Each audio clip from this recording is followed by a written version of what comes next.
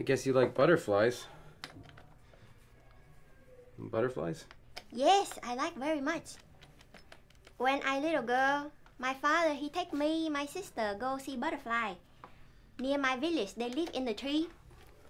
You know, they fly cold place to hot place every year. Stay tree, then go away, come back. Like uh, migrating butterflies. Yes. That sounds beautiful. How do you say butterfly in Vietnamese? Con bướm, Gong bong? con bướm.